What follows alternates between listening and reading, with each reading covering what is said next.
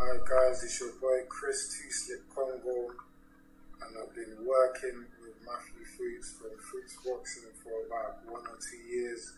Been boxing myself for about 20 years, and uh, we work together on some high, high IQ game plans and film studies for, of my opponents for my fights coming up.